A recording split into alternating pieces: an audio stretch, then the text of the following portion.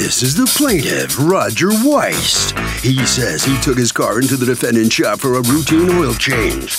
And when he got the car back, the check engine light was on. The defendant's workers broke his gas detection pump, which equalizes the pressure in the gas tank. It cost him a whole heap of money and time to get it repaired because the stubborn defendant refused to fix his employee's mistakes. And he's here suing for the $1,211.17 he's owed.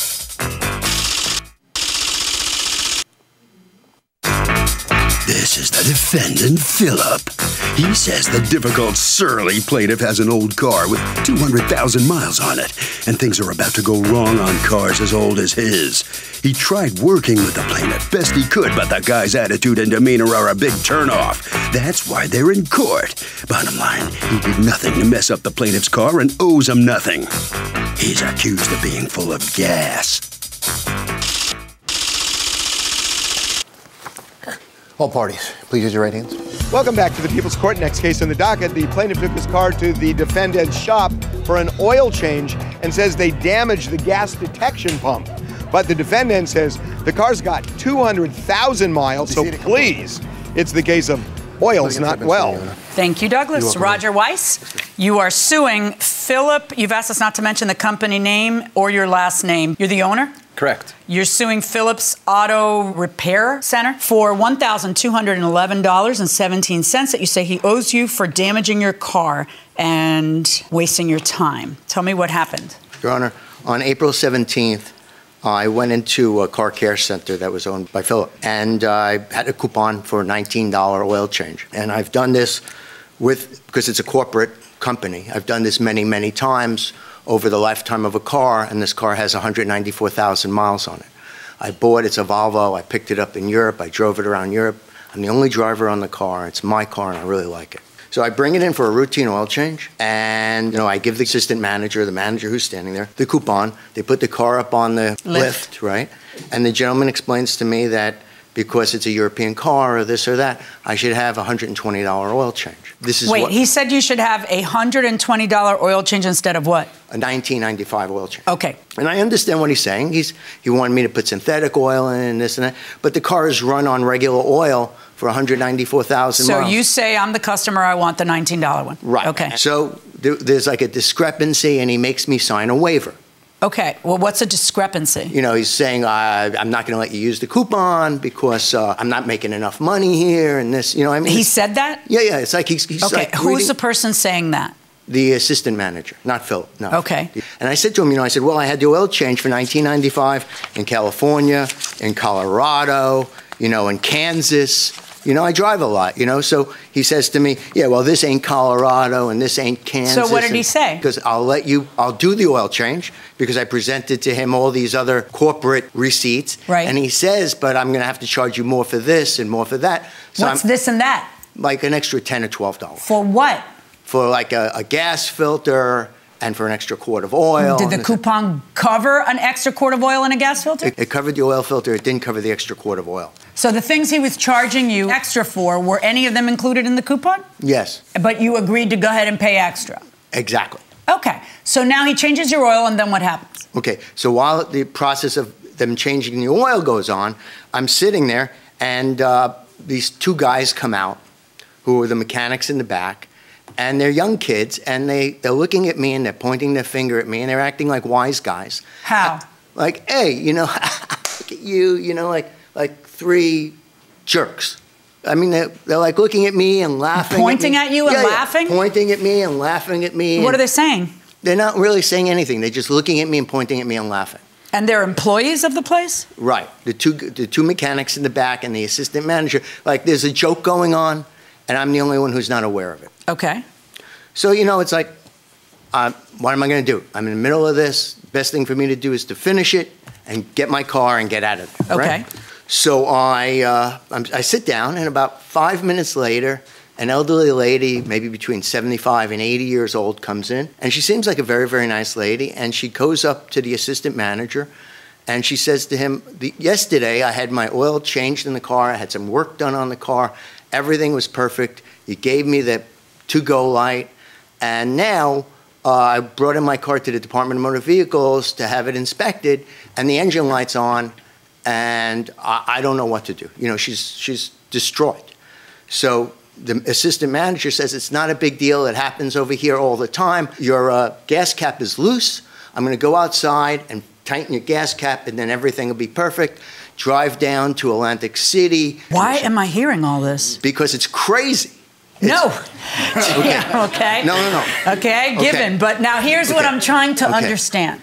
So the lady comes in, and why are you telling me about the lady's problems? Because 24 hours later, my engine light goes on now. And I call up the guy and I go, What's going on? You know, now it's like I'm saying the lady and the laughing, and you know, there's something going on here. So the guy says to me, Oh, it happens around here all the time. Just go. Who did you talk to that time? The same says, guy. It happens same. around here all the time. Because I have to tell you, I deal with people all my life. And I find that most people are very reluctant to take responsibility for something that happens around there all the time. They usually don't say, ah, yeah, we screw up all the time. That usually doesn't happen. Right. And then what? I said, well, what's, what's going on? What, what's going on? He goes, and he go, says, go out, tighten the gas cap, and everything will be fine. And was it fine? Well, the gas cap was ajar. A what? Ajar, loose, off. Okay, so did you tighten the gas cap? I did. And then what? so went then through a drive cycle? Right, Did the light go away? No. So then you take the car to Volvo, right? Well, I called up Phil. I called up corporate a couple of times. I begged Phil to help me. In the middle of this, Phil says to me, "Listen, you know, uh, I'll give you." He signs a document, and he says to me, uh, "I'll I'll buy you a new gas cap, mm-hmm. and I'll give you credit for the oil change." So I Let said, "Let me see the document." Yes, ma'am. Okay, let's go on. Okay. And did he buy you a new gas cap? I, I never saw a credit for it on the credit card, so I, I don't know. And did he uh, refund your money on the oil change? I never saw a credit for it on the credit card, but I assume he did it. It's not that big a deal. All right, so go on. Okay, so this is about two weeks or three weeks into it. So he goes, just drive, now that you got the new gas cap, just drive a couple drive cycles. And so I drove to the city. Did it fix it? No. All right, now you take it to Volvo. What does Volvo tell you? Volvo explains to me that since the gas cap was off, the pump kept pumping and pumping and pumping, and it wore out and broke. Let me see that in writing from Volvo. Yes, ma'am. So you now want him to pay the amount that Volvo charged to replace that part. You're also suing for the gas cap. Yeah, I don't know whether that's, yeah. I don't well, know. No, you need to know. You need to look at your credit card and show me, look, Judge, they didn't right, give well, me credit void, for it. Then void the gas cap. Okay, void the gas cap and the oil change. Right. Did you give him credit for that I stuff? did. I have a copy which I submitted That's Great. evidence. All right, and then, so, but you're suing for the amount Volvo charged you to fix um, that 10-year-old car's, what? It's called the leak detection pump. The leak detection pump. All right, let me uh, hear from you. I, like uh, Roger said, I was on vacation at the time it came in for the oil change. Um, when I returned from vacation, my manager said that he had this concern with, uh, with Mr. Weiss and said he'll probably be calling during the week. He described a much friendlier customer service experience from uh, our point of view. Did mention how another customer came in. Mr. Weiss was interjecting himself into that conversation and making it more very difficult for him to have a conversation with another customer. Um, Yes, we recommended a synthetic oil change for $69 because the car is a turbo. The tur turbocharger runs at a higher temperature. Um, after Mr. Weiss was adamant that he had other oil changes, one at our, our franchise in California in 2017 and one in 2015 at a franchise in Colorado, and then we'd be the third one by our franchise. He said, okay, I'll do it for the 1995 with an upcharge for the cartridge filter. So Mr. Weiss comes by the shop probably a week later. I'm there, we talk, and he tells me that his check engine light uh, is on and that it's been diagnosed at a, I want to say, a big box retail store, maybe an AutoZone or Advance, to do it for free. That's the gas cap that is a problem. So I listened to the story about the poor customer service he received, try to empathize with him, try to apologize it should not have been nearly as bad as that. The truth is somewhere between what Mr. Weiss describes and what my manager describes. Um, I offered to re refund uh, the amount for the oil change, and I said to be extra kind, I say, go buy a gas cap at Volvo, send me the receipt, I'll pay for the gas cap. Okay, and did you? I did. I he did. did. send you a receipt? No, we talked on the phone. He said it's about $39. I said, and so you, you refunded to his credit card another $39? Uh, at one time, I, re I refunded $39 for that and $30 for The oil um, change The oil change together on one receipt. So you thought that was going to be the end of it. You That was thought my you goal. two had settled your dispute. I did not ask him to sign it. So, um, question number one: How is that not what we call in the law an accord and satisfaction, where two people settled their dispute? They're giving you something because of your complaint. That's supposed to be the end of it. So, is it common that you take your car into a repair shop for one thing, and when it comes out, something else is damaged? You always leave spending more money at a at a car shop. That's why. Well, but spending more money is one thing. But is it typical that they fix one thing and another thing breaks? No, they just take advantage of you. Oh, so you just think it's fraud? You got it. Can anybody think of a an honest reason why other things might break with a car that's 200,000 200,000 miles on it? Uh, well, 200,000 miles, there it is right there. I had a car that I had 185,000 miles. I had to get the engine changed in it. And when I got that done, they found another problem that was not even relevant at the first time. Fair enough. Going inside the courtroom. Did you take it to Volvo after or before you settled it? After. Well, maybe you shouldn't settle things so quickly. So let's just assume that's good customer service. He's trying to, you know, be nice or whatever and ke- keep a customer. How are you proving to me that your repairs at Volvo were their fault? When I asked you, where's all the stuff that Vo- you say Volvo said, you handed me a piece of paper with typing on it. What is this? When I went in, Where did this come from? uh, in the internet. Right. Okay. I need it from an expert to say that they did something wrong and it caused you harm. That is how a lawsuit works.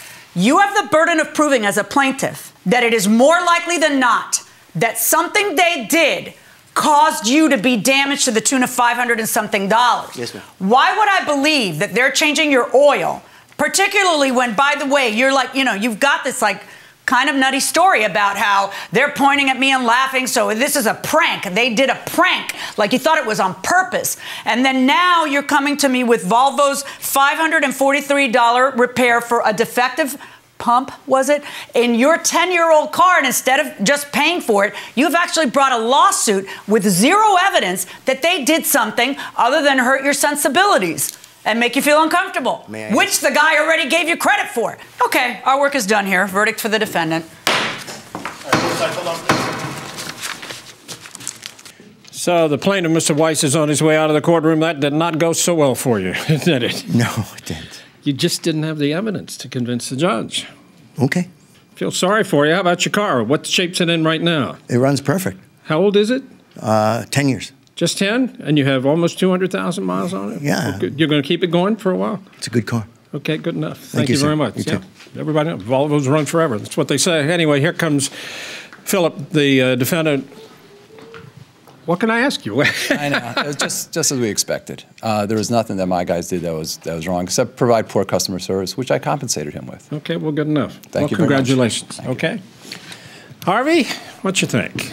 Okay, Doug. Uh, there is something that a lot of states have called the uh, Bureau of Automotive Repairs. They license repair shops, and they can mediate disputes between customers and repair shops, and they might help you get your money if you're really in the right, uh, short of going to court.